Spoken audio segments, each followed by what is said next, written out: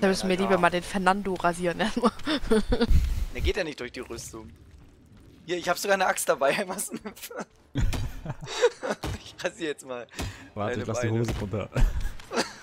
Bäume brennen doch bei Feuer, oder? Komm her. Mm. Warte, ich stell mich ein bisschen höher, dann geht das besser. So, jetzt. Oh ja. Oi.